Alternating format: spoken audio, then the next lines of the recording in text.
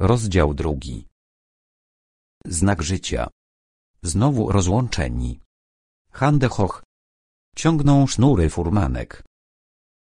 Po paru dniach od wilży powróciły siarczyste mrozy. Chłopcy znowu budzili się skostniali z zimna. Zaradny i przedsiębiorczy kogut postanowił wprowadzić w grupie poranną gimnastykę. Wprawdzie pyskaty Heniek wyśmiał początkowo ten pomysł, ale już na drugi dzień sam energicznie machał rękami i podskakiwał na zamarzniętym klepisku. Po czymś takim robiło się naprawdę cieplej i do porannej kawy można było od biedy wytrzymać bez rozpaczliwego szczękania zębami. Wkrótce w ich ślady poszli wszyscy mieszkańcy baraku. Dziadek Ignacy zyskał w kogucie rzutkiego i energicznego sprzymierzeńca. Na przykład wczoraj zarządzili obowiązkowe mycie śniegiem. Heniek powitał ten pomysł gwizdem, ale wszyscy inni chętnie wyszli przed barak. Lodowata woda nie była wprawdzie czysta, lecz niemytym od wielu dni szyją, twarzą i ręką przyniosła prawdziwą ulgę. Na szorowanie nóg zdobyli się tylko projektodawcy kąpieli, dziadek i kogut. Dziś jednak niewielu odważnych wysadziło nosy za drzwi baraku. Ziąb przejmował do szpiku kości. Na krokwiach i ścianach osiadł szron, a posłania w wielu miejscach pokryły pasemka śniegu, który przeniknął przez szczeliny w ścianach. Mam przeczucie, że to dopiero początek prawdziwej zimy, powiedział kogut, z trudem wyciągając dzitka po śnieg do mycia. Dzidek już drugi dzień jest jakiś nieswój. Nie reaguje na zaczepki, pytania zbywa półsłówkami, otulony betami poczubek nosa godzinami patrzy w dziurawy sufit. Interesuje go tylko stan zdrowia malucha, tak dotkliwie pobitego przez komendanta obozu. Mały Staś powoli wracał do zdrowia, o czym informował dzitka starszy bloku, któremu łatwiej było przedostać się do sąsiedniego baraku. Obecnie, wiedząc już z całą pewnością, że Jasiek szuka z nimi kontaktu, Kogut i Dzidek postanowili dać mu znak życia. Wczoraj wszystko obmyślili, Dziś mieli swój plan zrealizować. Zaraz po śniadaniu kogut podszedł do skulonego na posłaniu dzitka. Wstawaj, idziemy szukać Jaśka, zachęcał półgłosem w obawie, aby o ich tajemnicy nie dowiedziało się zbyt wiele osób. Zawsze to bezpieczniej nie trąbić wokół o czymś, co w końcu jest bardzo ryzykowne. Ale dzidek nie zdradzał ochoty opuszczenia legowiska. Patrzał na kolegę szklistym wzrokiem. Kogut dopiero teraz spostrzegł na jego twarzy wypieki.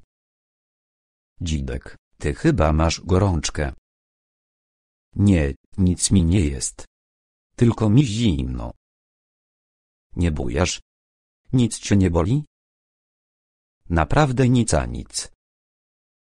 No to idziemy, bo potem może być za późno. Zaczną się szkopy kręcić po obozie i klapa, leżymy. Dobrze, już wstaję. Dzidek z trudem podniósł się z posłania. Od dwóch dni czuł się fatalnie. Miewał zawroty głowy i bóle w dole brzucha, zapewne z głodu. Kolega poklepał go przyjacielsko po plecach. Życie to nie malina, jak mawiał mędrzec z Garwolina, nie nawalaj, wszystko będzie dobrze.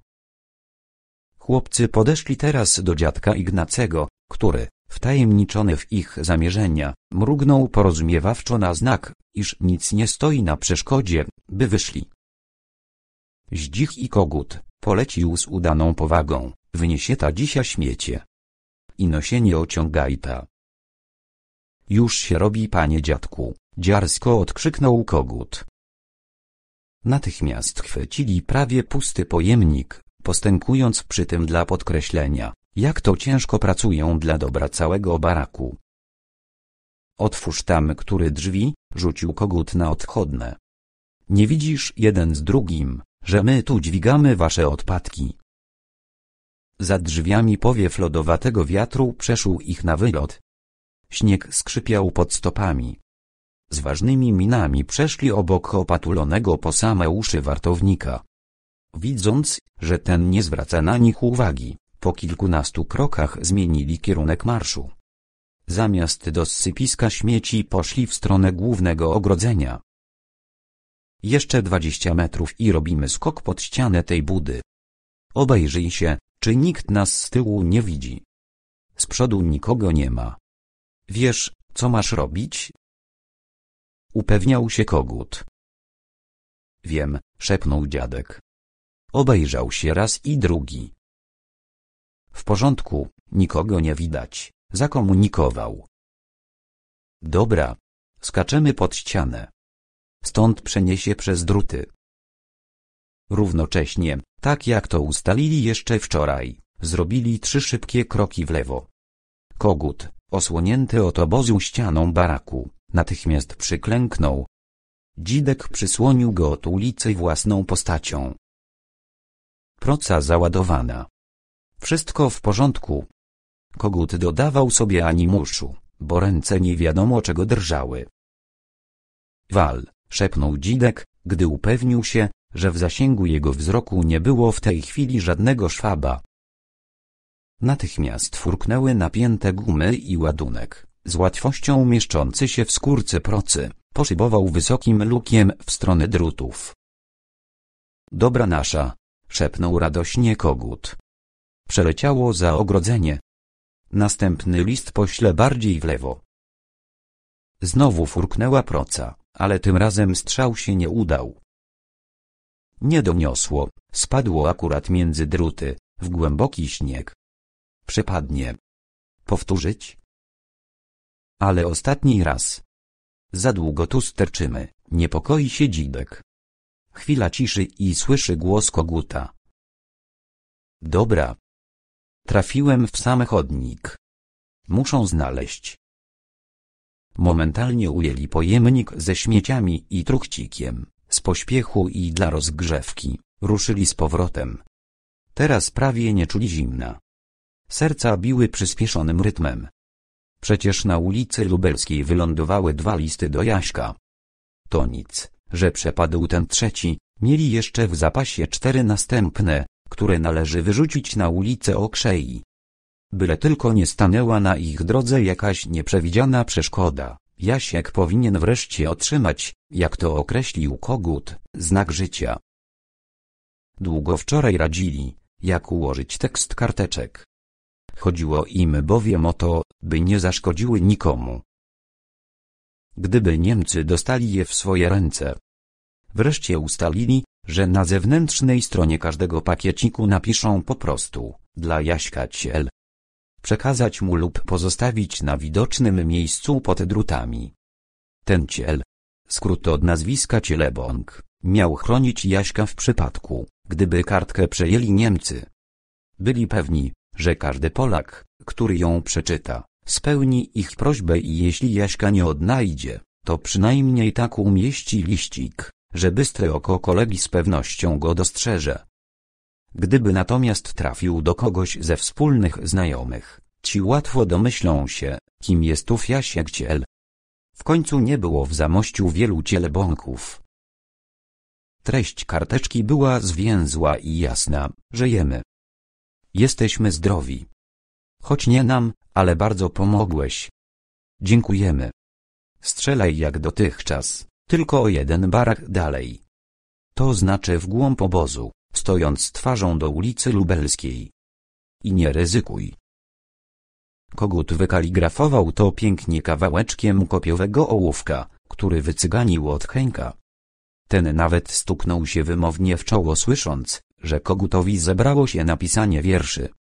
Pod liścikiem chciał podpisać Dzidek i kogut, lecz w ostateczności uznał rację kolegi, że znacznie bezpieczniej będzie użyć słowa kaktusy. Ktoś obcy nigdy nie domyśli się o kogo chodzi, zaś Jasiek od razu zgadnie, że to oni. Był przecież wodzem paczki kaktusów z zielonej ulicy, którzy nie jeden raz zakpili z butnych szkopów. Niosą teraz chłopcy wielki pojemnik i wydaje się im lżejszy od piórka. Jeszcze kilkadziesiąt kroków i będzie można powtórzyć operację. Oczy mają rozbiegane na wszystkie strony, słuch wyostrzony. Do ich uszu dociera nawet szmer rozmów w mijanych barakach, dobiega śmiech wachmanów z odległej wieży wartowniczej. Nagle kogut ostrzega. Sprawy SS-y. Wiesz, co robić. Widzę. Są z psem. Wiem, odpowiada dzidek. Kiedy dwaj Niemcy w wygiętych czapkach z trupimi główkami są już blisko, chłopcy przystają. Stawiają pojemnik na ziemi i nieruchomieją z czapkami w dłoniach. Esesmański pies obwąchuje przez chwilę śmieci, po czym odchodzi obojętnie, podobnie jak jego umundurowani panowie. Za minutę chłopcy są już ukryci na następnym barakiem. Kogut wyciąga proces za cholewki buta, przy którym dla niepoznaki poprawia sznurowadło. Tym razem musi być jeszcze bardziej czujny, w obozie trwa już na dobre codzienna krzątanina.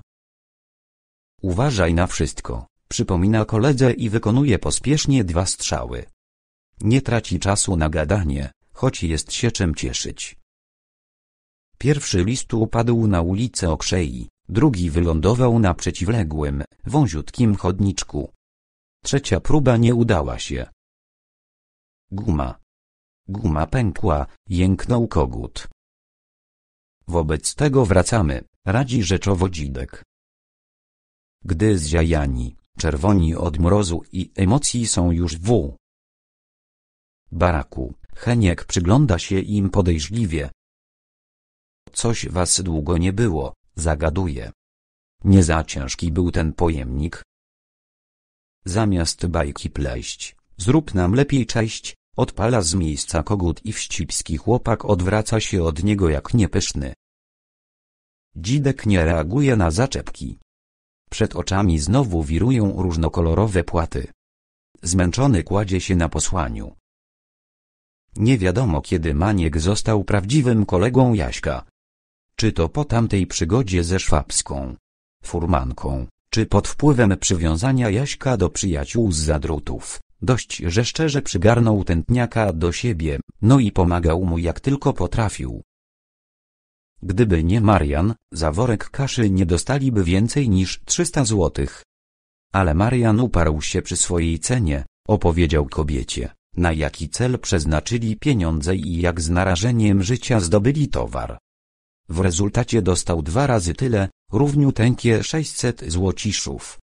Na dodatek wszyscy trzej otrzymali gorącą kolację i zaproszenie na śniadanie, a gdy kobiecina usłyszała, że wszyscy trzej chłopcy nocują gdzie popadnie, raz w stertach, innym razem w cudzych szopach, zaprowadziła ich do znajomego gospodarza. W jego stajni spędzili tę noc, nie mogąc do tej pory uwierzyć, że są jeszcze na świecie miejsca tak zaciszne i ciepłe. W krótkim czasie całą trójkę połączyła głęboka sympatia i solidarność. W ciągu tej nocy zrozumieli, że właściwie wszystkich trzech spotkało to samo, wielka krzywda z rąk Niemców. Ojciec Mariana, robotnik z zamojskiej fabryczki, został schwytany w łapance i wywieziony na roboty do Niemiec. Matkę stracił jeszcze wcześniej, zmarła na gruźlicę. Wojtek był całkowitym sierotą, nie miał ani ojca, ani matki. Obydwoje zginęli od kul niemieckiego lotnika podczas pracy w polu zaraz na początku września 1939 roku. Chłopcem zaopiekowali się całkiem obcy ludzie ze Skierbieszowa, gdyż nie miał nikogo z rodziny. Ale i po nich zaginął wszelki ślad, gdy Niemcy wysiedlali w listopadzie miejscową ludność. Mały uciekł z furmanki w czasie transportu, lecz do Skierbieszowa nie miał już powrotu, osiedlili się tam czarni, niemieccy koloniści. Dotarł więc do Zamościa, po którym błąka się już prawie miesiąc, a żyje głównie dzięki opiece i zaradności Mańka. Także pod jego wpływem przyjął towarzystwo Jaśka i nawet go polubił, choć nie zawsze potrafił zrozumieć. Nie bardzo na przykład pojmował do tej pory te wszystkie zabiegi dla przesłania wiadomości jego kolegom z lagru. A właśnie dziś wszyscy trzej szli pod druty obozu. Bez złodziejskich worków i kijów, w oczyszczonych końskimi szczotkami ubraniach nie wyglądali wcale na podejrzane typy. Pełne żołądki i świadomość posiadania prawie 700 złotych bardzo im dodały pewności siebie. Maszerowali w milczeniu, Wojtek podbiegał czasami kawałek dla rozgrzewki. Ranek bowiem był mroźny i wietrzny. Chmury wisiały nisko, prusząc jakby od niechcenia drobnym, suchym śniegiem. Nieliczni przechodnie przebiegali obok chłopców z podniesionymi kołnierzami palt. W pobliżu ulicy Okrzej Maniek zatrzymał kolegów. Wojtek, pójdziesz przewąchać pod drutami, powiedział. Ja nie pies, żebym niuchał, zaprotestował mały. Pies nie pies, ale jak ja każę, to pójdziesz bez gadania. Jasne, że pójdę, Maniuś. Ja tylko tak sobie. Pod drutami będziesz szukał listu od kolesiów fetniaka. No i uważaj, żeby cię szkopy nie przykarał Lili. Sie wie, Maniuś. A wy co? Spokojna pała o nas. My z Jaśkiem naradzimy się w bramie, wskazał głową na białą, jednopiętrową kamieniczkę. Wracaj prędko. Zrobione, już mnie nie ma. Mały odszedł zadowolony z powierzenia mu ważnej misji. Marian z Jaśkiem ukryli się w sieni, gdzie wprawdzie okropnie cuchnęło kotami, ale za to wiatr nie dobierał się do skóry. Marian pocierał zmarznięte dłonie. Po dłuższej chwili milczenia przemówił bez entuzjazmu.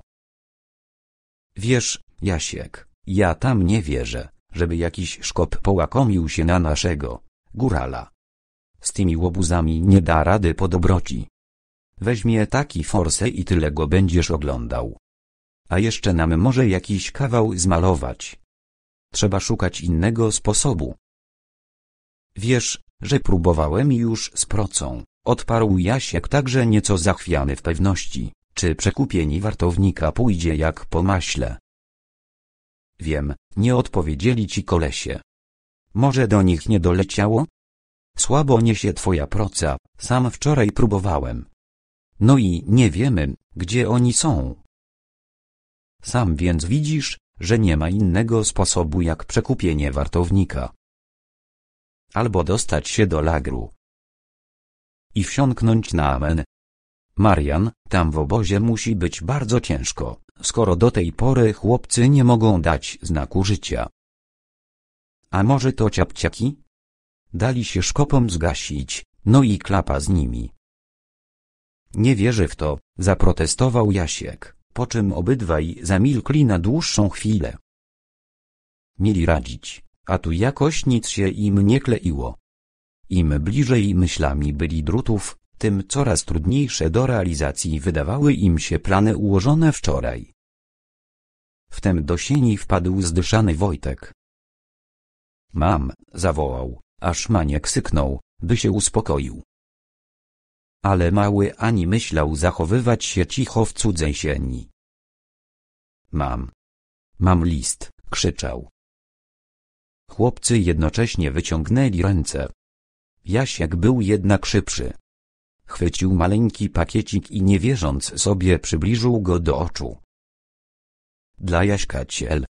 Wyszeptał pobladłymi wargami. Niech otrupieje, jęknął Marian. Chłopcy, kochani. To od dzitka i koguta. A widzisz, Fetniak. To ja.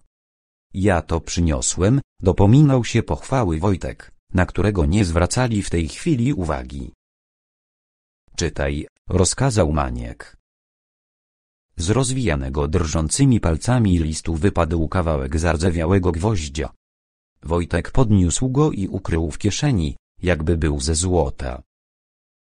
Przyda się nam ciężarek, powiedział, a Maniek fuknął niecierpliwie, aby był cicho, ponieważ Jasiek zaczynał czytać, potykając się ze wzruszenia prawie na każdym słowie. Gdy skończył, Marian uderzył go po ramieniu. No, teraz wiemy wszystko. Nie trzeba nam szwabskiej pomocy. Jasiek powoli przychodził do siebie po wielkiej radości, jaką przeżył przed chwilą. Ujął teraz dłoni małego, którą ten pozwolił sobie ściskać długo i serdecznie. Teraz wiesz, z kim trzeba trzymać, powiedział z przechwałką. Jak ci mam podziękować? I Mańkowi także. Szeptał Jasiek wzruszony do łez. Wojtek był dumny jak paw, a Maniek uśmiechał się krzywo na te czułości. Grunt, że góral uratowany, odezwał się niespodziewanie mały. Nie dla ciebie gnojku, przerwał mu szorstko starszy kolega. Dla tych z lagru nakupimy jedzenia, oświadczył stanowczo. A ty się możesz oblizać parszywym jęzorem. Małemu zrzedła mina. Ja też zasłużyłem na nagrodę, wyjąkał. Dostaniesz ją, na pewno dostaniesz, uspokajał. Jasiek, lecz w tej chwili Mariana opadły inne wątpliwości. Coś nam to wszystko za dobrze idzie, mówił poważnie. Skąd wiecie, że twoi kolesie są jeszcze w tym baraku od ulicy Lubelskiej? Nie wiadomo przecież, ile dni przeleżał ten list w śniegu. Zobacz, czy nie ma daty, polecił Jaśkowi. Jasiek jeszcze raz przebiegł wzrokiem po maleńkim Markusiku. Nie napisali, stwierdził z rozczarowaniem. Nie potrzeba daty. Wykrzyknął teraz Wojtek. Ten list jest dzisiejszy. To dlaczego nie mówisz od razu? Wściekł się maniek. Dobra, dobra. List jest na pewno dzisiejszy, bo widziałem, jak go podnosił ze śniegu na lubelskiej taki jeden facet. Schylił się, coś podniósł i prędko schował do kieszeni. To ja w te pędy do niego i proszę, żeby pokazał, co takiego znalazł. Coś mi się od razu zdawało, że to może być od tych z lagru. A on się wystraszył, przyłożył palec do ust i dalej zasuwa. A ja za nim i proszę bez przerwy. Kiedy minęliśmy obóz, wyjął ten niby list i odczytał to, co na wierzchu pisało. To ja mu powiadam, że ten Jasiek to nasz fetniak i niech odda dla niego. Uwierzył, jak mu się przysiągłem na Boga i skonanie i w te pędy do was. No widzicie, szepnął Jasiek z ulgą. List jest dzisiejszy, idziemy strzelać. Gdzie ci tak pilno, powstrzymał go Marian. Trzeba wszystko dobrze obmyśleć. Wiesz na przykład, który to bark? Chyba tak. Od lubelskiej donosiło z procy do trzeciego, więc ich będzie czwarty. Ile metrów od drutów? Sześćdziesiąt, może siedemdziesiąt. Nie dobiję z twojej procy. Trzeba spróbować. Nic z tego. Musimy zrobić większą, mocniejszą procę i najpierw wypróbować gdzie indziej. Ja mam lepszy pomysł. Wyskoczył znowu mały Wojtek. Co ty wymyślisz? Powątpiewał maniek. A właśnie, że wymyśliłem. U nas we wsi chłopaki mieli całkiem inne proce, nie takie jak wasze miejskie. Nie mieli gumy, to do skórki przywiązywali zwyczajne, długie sznurki. Byle mocne, konopne. Wiem już. Przerwał uradowany Jasiek. Że też sam na to nie wpadłem. Gapa ze mnie. Myślnika widzisz, Petniak. Zakręcisz taką procę parę razy nad głową, to poleci, że ho, ho. Myśmy nawet kamienie polne rzucali takie wielkie jak bułka. Jak raz chłopaki organiście w okno huknęli, to z całą ramą wypadło. Niech mnie. Dobra już, dobra, ofuknął gadułę maniek. Idziemy do naszego gospodarza wszystko przygotować. I kupić na targu co potrzeba, wtrącił Jasiek. Dla mnie kawałek kiełbasy, może być całkiem malutki, ale żeby był, prosił mały. Kupicie i? Tak dawno nie jadłem. Kupimy, zasłużyłeś na nagrodę, przyrzekł mu maniek. Wczoraj dwaj chłopcy, pyskaty Heniek i jego sąsiad z Barłogu, mały Kazek, nie wstali na poranne budzenie. Kogut sądził początkowo, że to kolejny kawał Henka, ale gdy chwycił go za czuprynę i zamierzał zdzielić pod żebro, ujrzał szkliste oczy chłopaka. Kazek także. Był blady i skulony we czworo.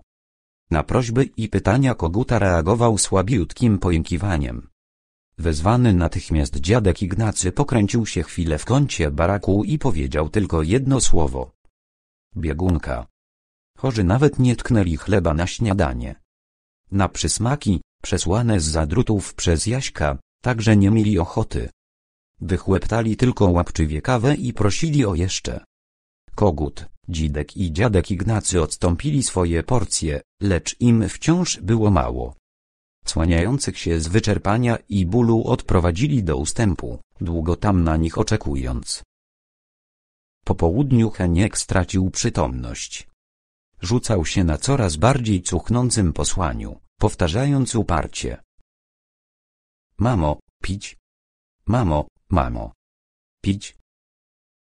Kogut wyszukał pod barakiem trochę czystego śniegu, który roztopił, paląc pod blaszanką gałgany oraz drzazgi odłupane od ściany.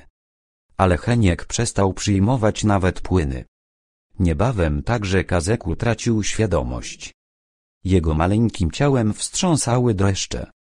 Co chwila okropnie zgrzytał zębami. Przed zapadnięciem zmroku obydwu trzeba było zabrać do baraku szpitalnego. Niech Bóg ma ich w swojej opiece, powiedział z rezygnacją dziadek Ignacy, ciężko wzdychając. My tu bezradni.